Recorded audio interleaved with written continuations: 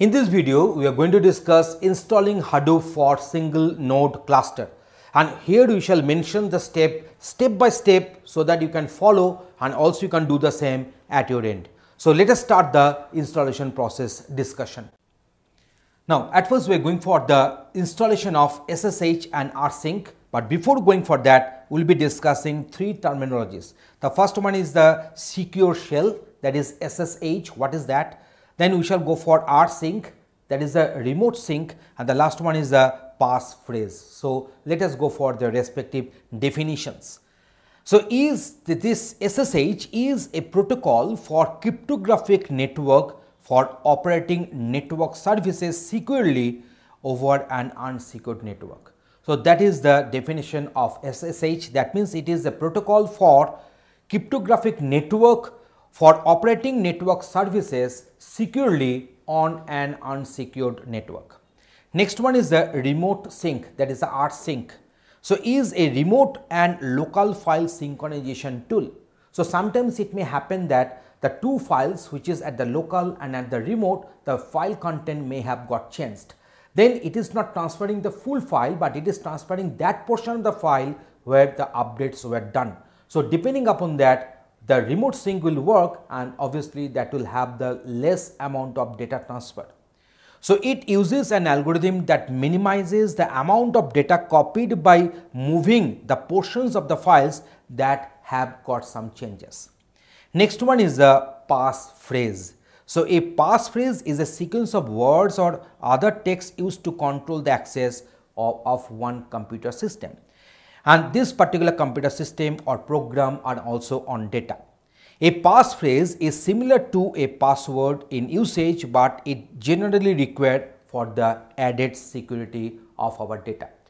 So these are the three terminologies that are there. Now let us go step by step one by one for the installation of Hadoop for single node cluster. So here we are having two operations that to be done. So first one is the install SSH and rsync and then you shall go for SSH without passphrase setup.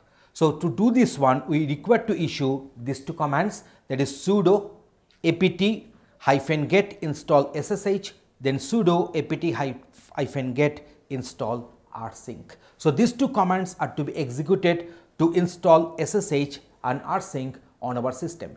These two commands we are executing from the dollar prompt. So SSH without parse phrase setup. So the command will be SSH hyphen keygen minus T RSA. After that, we are supposed to press enter for three times without entering anything. So three times enter is to be pressed.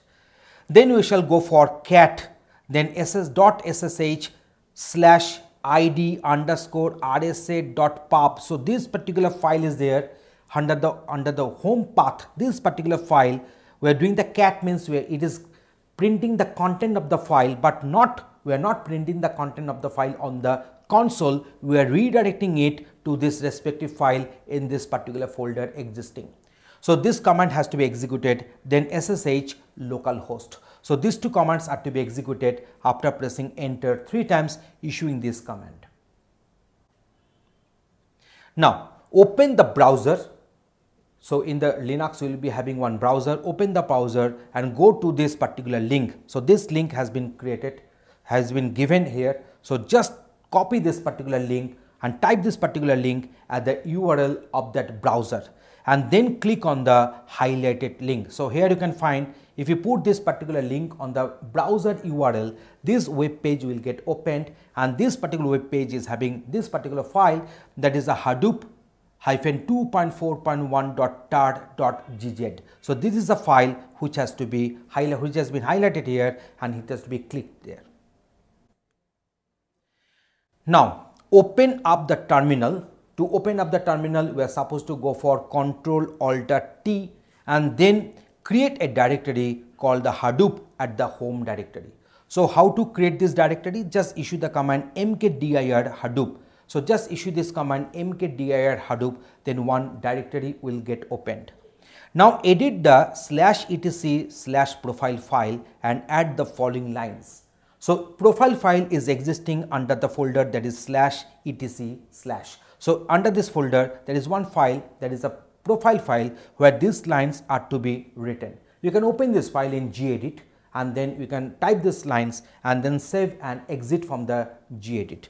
And then to make it effective onto the system whatever you have typed extra just execute this file dot slash etc slash profile. So in this way you can execute the file. So whatever the changes you did in the profile file the corresponding changes will be obtained onto the system. Now copy the downloaded hadoop that is a hadoop hyphen 2.4.1.tar.gz. So, the file which we downloaded from the respective URL which I shown you earlier into the hadoop directory and then go to this directory and using terminal and then enter the downloaded tar.gz file. So, just go to the download folder where you downloaded there and then copy those files and then now put those files under the Hadoop folder and follow the lines to go to the Hadoop directory. So, just go to the Hadoop folder and the files which were copied from the downloaded folder to the Hadoop folder now execute tar xzf for the untar operation. So, tar xzf and then Hadoop start. So, the file which was copied from the downloaded folder to the Hadoop folder, those tar.gz files will be untarred here and this much you are going to do for this single node cluster installation on Hadoop. Thanks for watching this video.